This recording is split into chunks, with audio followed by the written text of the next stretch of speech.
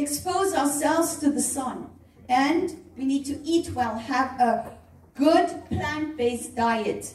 And our environment, in especially in our bedrooms, needs to be cool, calm, dark, and quiet. We need to calm down, tone down to prepare us to sleep.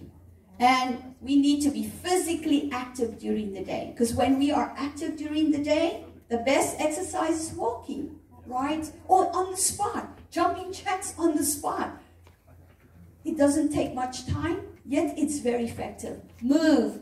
The, the secret is move. Anything, moving, just our arms, any movement is very, very important. And then we sleep well.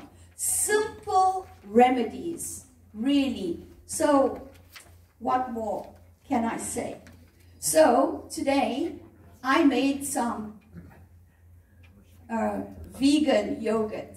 So I, there's not enough, but for those of you who'd like to try, because it is delicious. We don't need cow's milk. This is made from soy milk and berries. Berries are high in antioxidants. Mothers, make it for your children. Give them a healthy breakfast. Milk, cut out cow's milk. Cow's milk is so bad for us.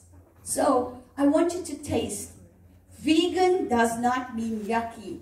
Vegan means good. It's really good. Those of you who have tasted my food, you cannot say it's not good. Vegan, Brother Jawar, what can you say? Amen.